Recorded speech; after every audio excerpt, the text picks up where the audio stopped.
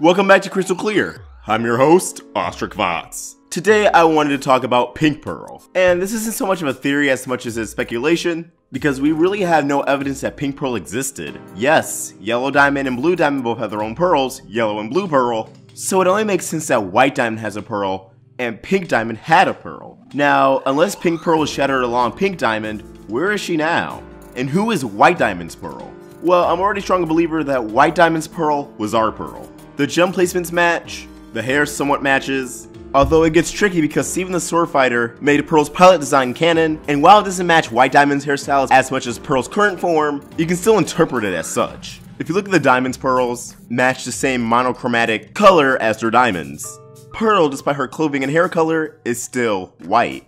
And if the theory that White Diamond controls Homeworld is true, the actual planet itself Homeworld, then Pearl's quick hesitation and adventures in light distortion also adds fuel to the fire that she served White Diamond.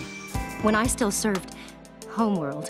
As for the pink diamond on her spacesuit and on Sardonyx's shoes, I made a theory before that Pearl at some point was assigned to Rose and she became Rose's Pearl. But Rose didn't actually treat her like a Pearl, but as her own person. So this speculation in theory goes along the concept that White Diamond's pearl was our pearl. Now, the details of Pink Diamond shattering is very, very vague. All we know is it happened and assumably Rose did it, but we don't know who else was involved and who witnessed it besides Eyeball. Although it's very heavily implied by her reactions that Pearl was involved as well. Now shattering gems is a pretty big deal, so while I can see Rose shattering Pink Diamond, I don't see her shattering Pink Pearl because there's really no reason to. So I believe Pink Pearl survived the assault on Pink Diamond that led to her shattering. Well, where's Pink Pearl now? Some believe she was corrupted into the lion we know now as, well, Steven's lion. But I disagree, since the show has made a pretty big deal out of Lion being a male. And the only lion with Lion's nose was the only lion not shown in the episode Buddy's book. I still believe Lion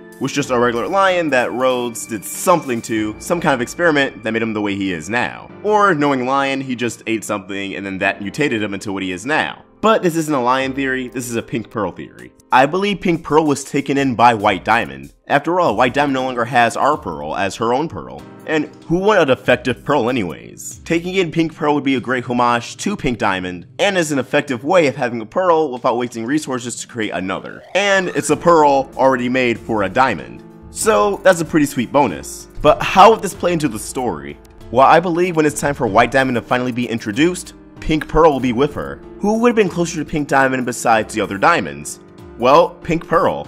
A pearl is always with their diamond. Rebecca Sugar did say that she wants to explore how everybody is grieving with Pink Diamond's loss. She didn't just say all the diamonds, although that could have easily been what she meant, but I also think she meant Jasper, Eyeball, and yes, even Pink Pearl. And blue and yellow are equals and opposites, and they're both still reeling from this loss. And I wanted to show the ways that they're both dealing with it. Blue is determined to hold on to everything and be affected by everything, and yellow doesn't want to be affected by anything, wants to let everything go.